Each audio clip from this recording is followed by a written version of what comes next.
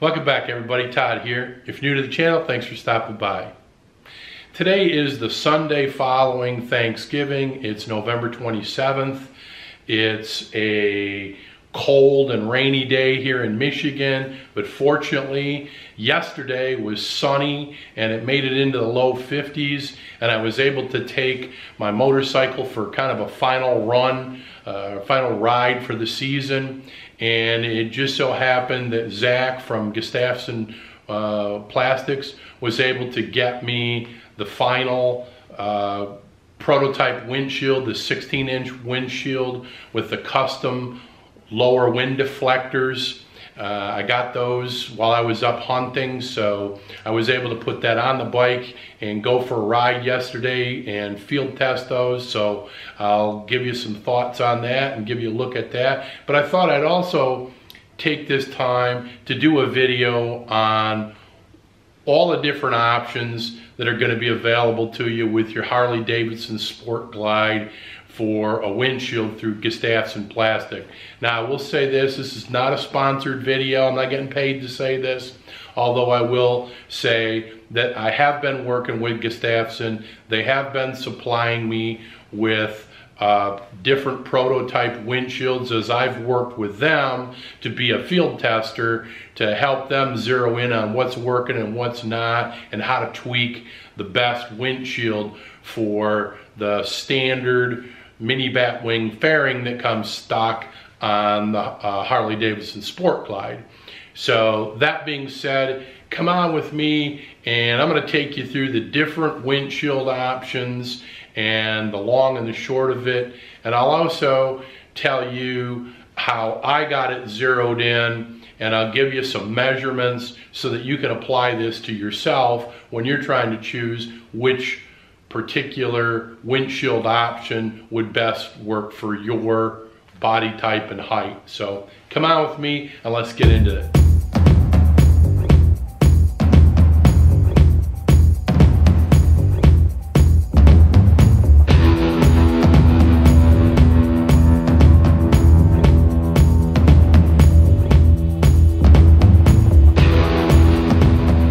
Here's an overlay of the Gustafsson Grand Touring windshield. That's the 15 inch Grand Touring on the top.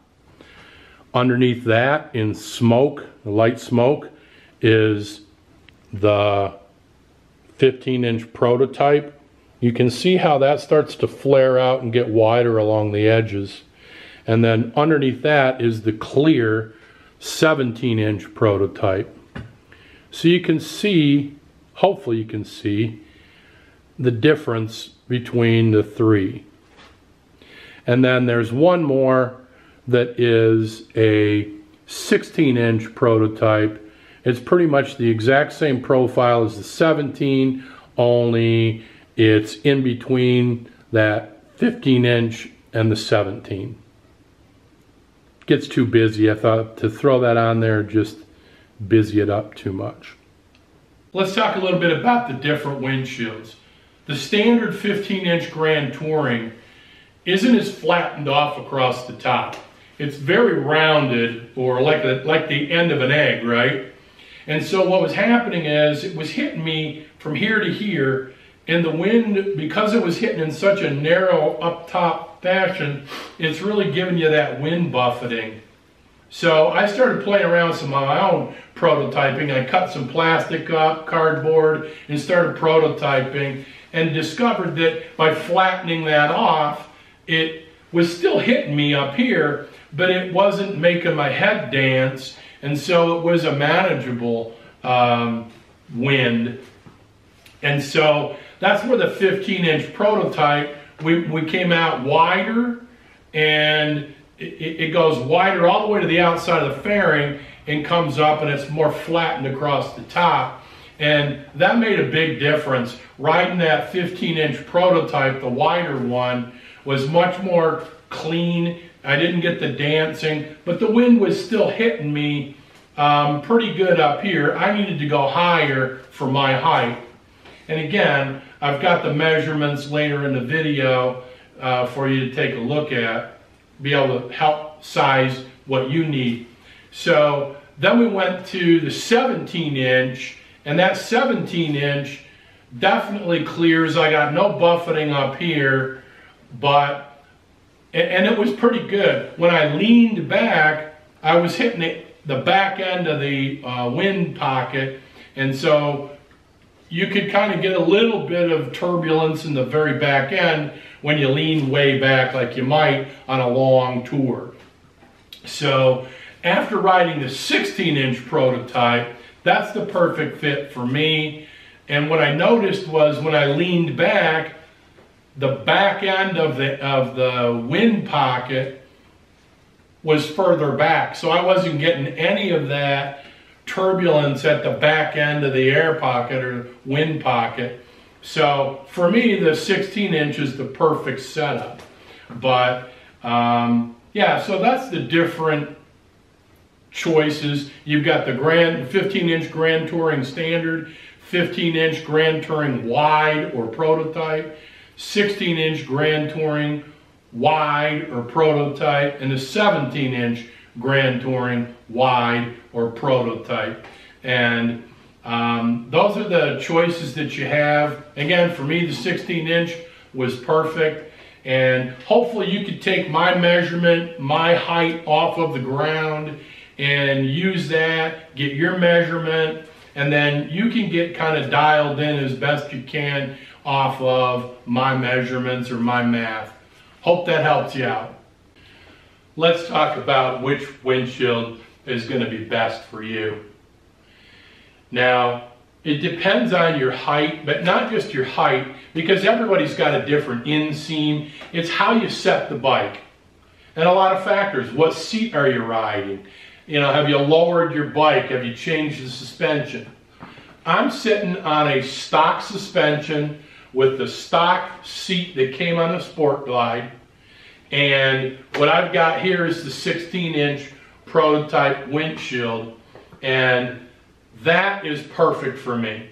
So for my height, this windshield is the perfect setup for me you know, and what you don't want to do is spend a few hundred dollars to buy a windshield and have it be the wrong one.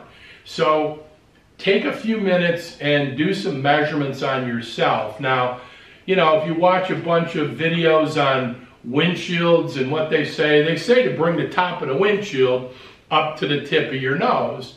Well, you know, what does that mean? Um, you know, you're going to have a different rake angle. And that's the thing you have to look at here. You can't buy it just based on, oh, 15 inches. That's not straight up. 16 inches isn't straight up. Remember, this is attached to the fairing, which is attached to your forks. So the rake angle, or that 30 degree rake angle of your forks, is what's happening here on the windshield. So the windshield's coming back towards you at a 30 degree angle. So don't get confused by a 12 inch, a 16 inch, a, a 15 inch. You've got to sit on the bike and get some measurements. And I'm going to help you out. We are going to do a measurement to the top of my head to the ground, okay? And I'll give you that number. And then you can take that number, get your own measurement, have somebody help you out get a tape measure, run some, run a level over, get a measurement. What is the top of your head to the ground? And that way, that'll take into consideration if you have a, a reach seat on there, if you have something else going on with your suspension, you'll know. Then you can choose from there which one of these windshields is going to be the best fit for you. So what we're doing now is Laura's going to help me get a measurement at what my head height is off of the ground so that I'll know and you'll know what you're dealing with as far as height. So Laura, have you got that measurement? Where are we at? 66 inches. Okay, so we're sitting 66 inches off of the ground to the top of my head. So depending on your height and your body type, you can use that to help you figure out which windshield's going to work best for you.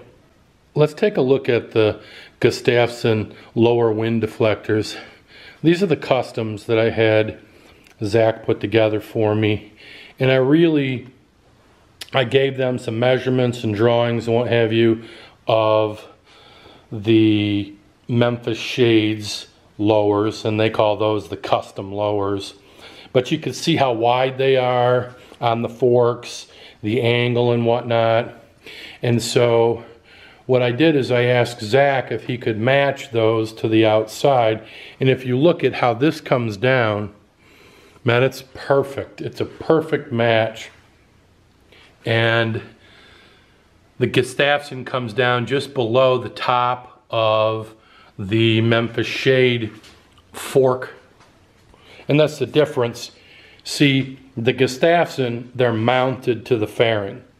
They're mounted to the back side of the fairing. There's just a couple of screws up in there that hold them on.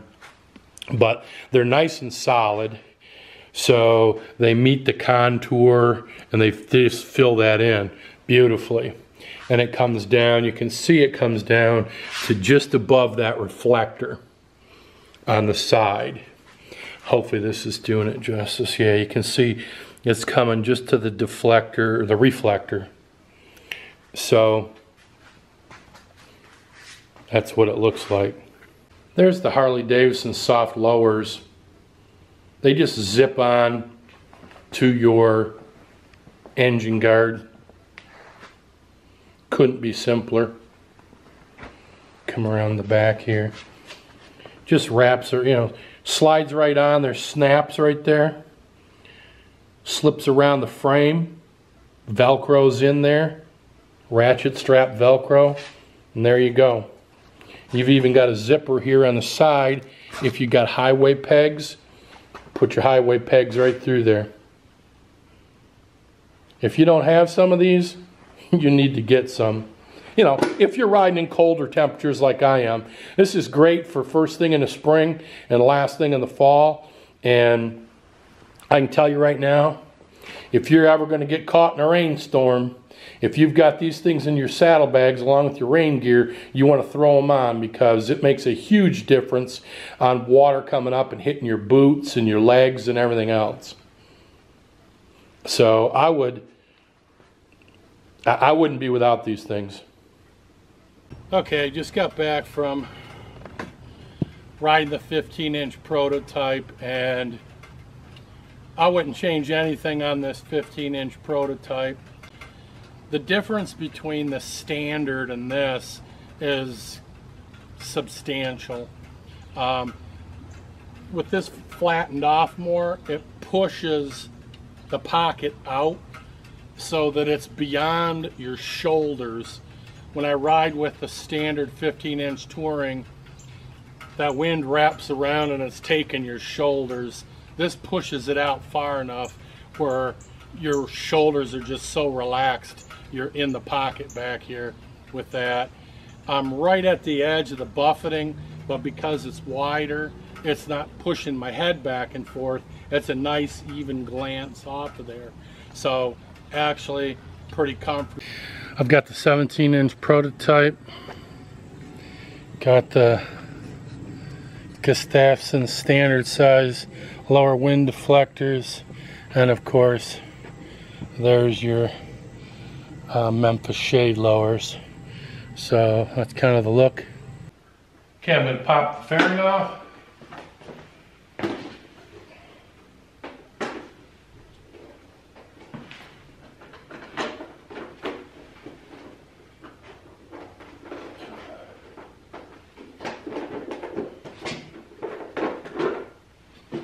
Just like that. lay this down and we'll change it out. Here we are with the 16 inch. I've got the custom lowers on there, the lower wind deflectors by Gustafsson. You can see that those have been cut to the same angle as the top of the Memphis Shades uh, custom lowers that go on the fork. Perfect. I got the Harley Davidson lowers on there, the soft lowers.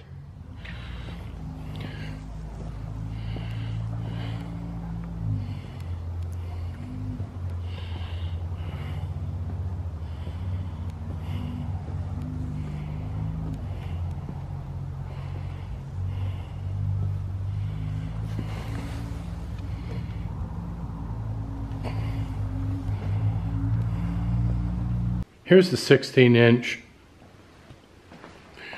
Give it to you kind of from all sides. It's really a nice windshield. And when you get back here in the pocket, I'm telling you right now, running running expressway speeds, no wind at all. Perfect pocket from all directions. That was me going north, going south, going east, going west. I mean, I tested it in all of those conditions so that wind had no play in it. At every single direction, I was getting a clean wind pocket. And those pullback risers, that's what it looks like. You can see I've got my Toonie um, Bluetooth volume control, etc. for my Bluetooth um, earbuds.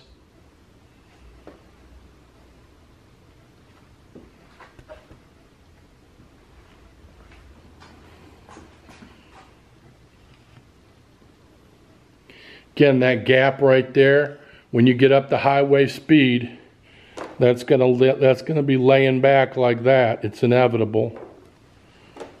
That's why you need to have the pullback risers. If you didn't have the pullback risers, that'd be making contact right now. Well, that's gonna do it for this video. I appreciate you guys tagging along. I hope you got some useful information out of this. If you have any questions, hit me up uh, in the comments. I'll be happy to answer questions. I'd love to hear from you. What are you running for a windshield? Uh, what are you running for uh, lowers? Are you running lowers? Just, uh, yeah, I mean, uh, chime in. Let me know what's going on. I, I love to hear ideas. I mean, that's part of what's led me to be able to do what I'm doing is the research and the exchange of information on the forums and, and things like that. I've certainly gone back and forth with different guys on videos and gotten great information from the YouTube community. So, you know, feel free to reach out to me if you'd like. Uh, I appreciate it. Again, uh, everybody that watches my videos, do me a favor and subscribe if you haven't, and we'll see you on the next one.